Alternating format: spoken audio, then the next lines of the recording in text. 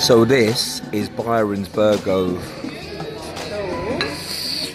So this is my wings. There's my salad. And there's my mayonnaise. Thank you very much. Thank you. Yeah. So I'm just here now. I'm feeling quite depressed. Uh, I'm just gonna have something to eat.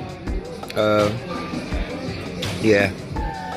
Feel like eating something properly. I can't seem to eat properly at work. We're always on the move. So yeah. I thought I'd try this place. Uh, just have something to eat.